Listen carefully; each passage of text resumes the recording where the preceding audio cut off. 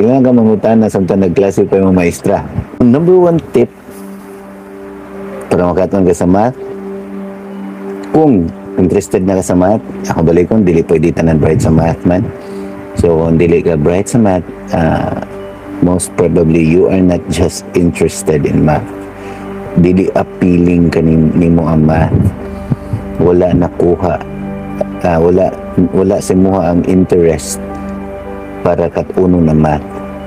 Pero kung niabot na ka sa point, like you're grade 6 now or grade 7 or high school, niya makasabot ka nga, di ka kalikay sa math. Na every year dahil na math. Every section na math. Every school na math. Diha ni mo ma-realize na, uy, eh, kinalam di ko makatunan ni. So, ah, balik ko sa premise nga, dili pwede brightanan sa math. Pero ako nag-ingon, dili makatuntanan sa math. Math is a skill.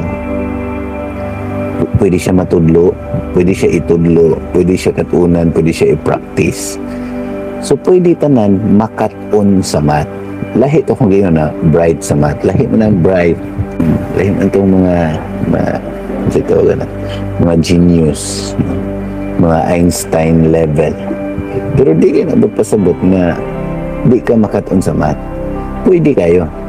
Kanong mga genius, ilang lang gihatag ilang time, whole time, ilang gi-focus. So ano po sila kinabuhi.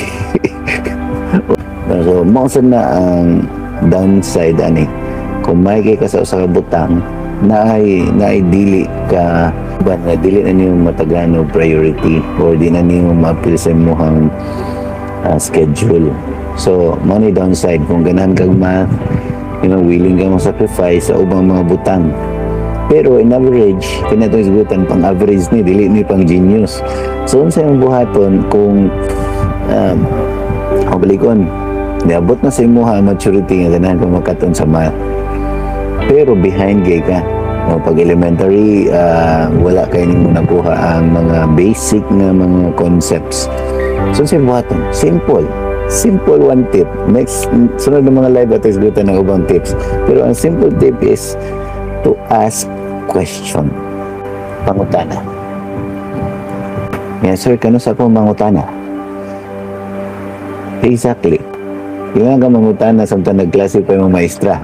Kung nakauyon ka sa video nga mo nakitaan o ganahan ka, na ka makabaw sa sunod ng mga videos or mga uploads na ko, follow me on Facebook and TikTok and subscribe to my YouTube channel and then click the notification bell.